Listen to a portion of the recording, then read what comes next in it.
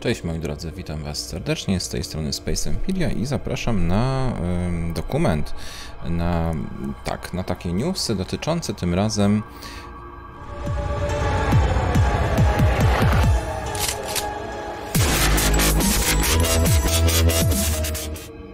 Tak jest. I poznamy właśnie Raxle. O Raxli możecie oczywiście samemu się dowiedzieć, patrząc tutaj na glosariusza Elite Dangerous i stąd też ja zaczerpnąłem wszystkie informacje, które Wam dzisiaj opowiem. Zaczniemy jednak od takiego toastu wznoszonego przez bractwo, przez bractwo Darkwell.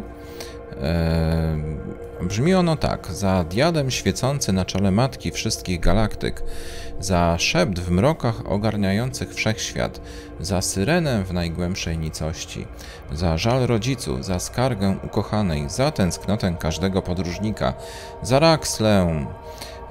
Prawdopodobnie jest to właśnie toast e, wznoszony przez Darkwell.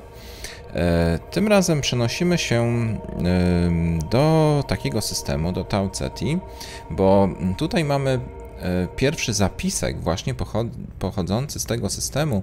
Dokonał on mechanik lotniczy, napisał, pisał on dziennik.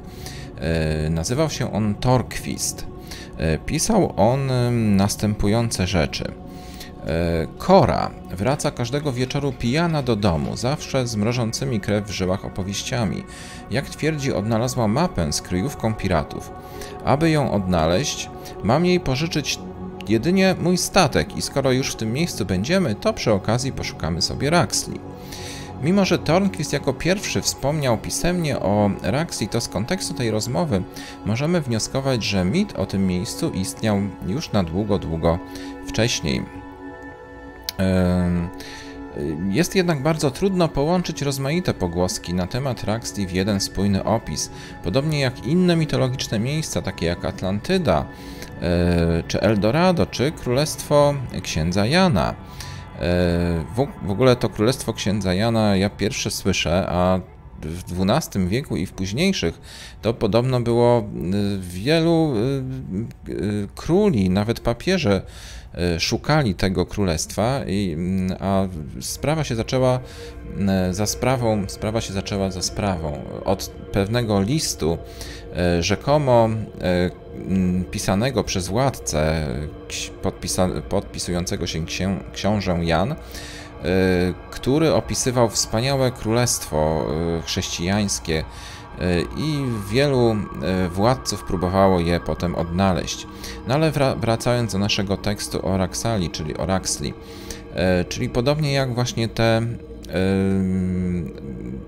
te mity, o których się w rozmaity sposób mówi, od zachwytu i przekonania, że istnieją, po całkowity sceptycyzm.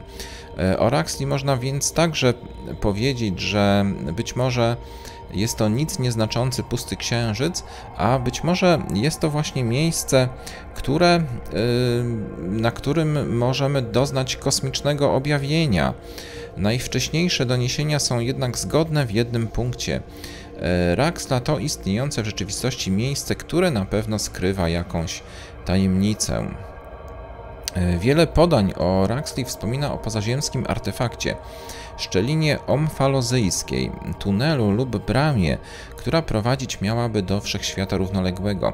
Później jednak dostrzeżono pewne detale w opowieściach do złudzenia podobne do bajki o księżniczce Astrofelii i mgłowicach spiralnych i tym samym zaczęto wątpić w autentyczność podań o Raxli.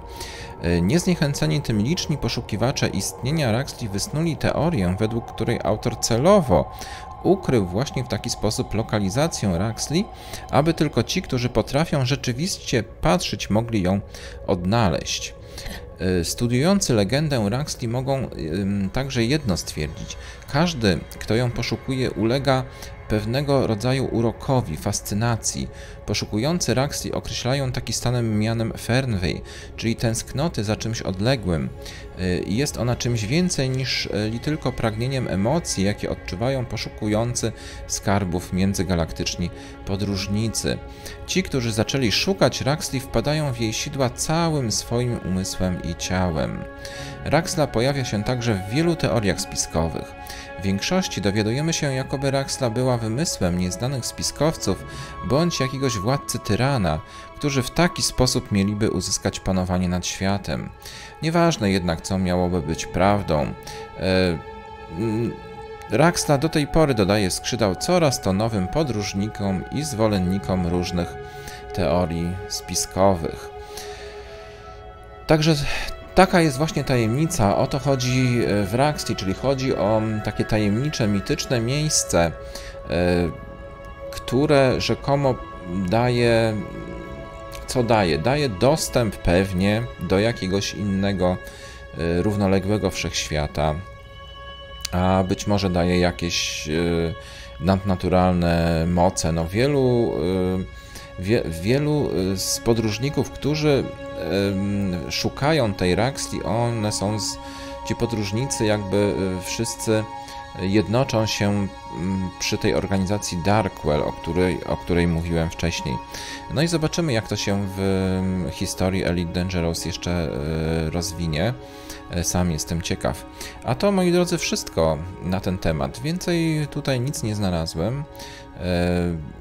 Na Raxle też nigdy nie trafiłem w żadnym e, z takich miejsc wartych zobaczenia, ani e, nigdzie indziej poza grą. E, no poza grą pewnie jakieś są teorie, to tam nie mam co do tego wątpliwości, ale w samej grze ja przez te wszystkie trzy lata, w której gram, nigdy na żadną Raxle nie trafiłem, dlatego mocno się zdziwiłem, że to się w ogóle pojawiło.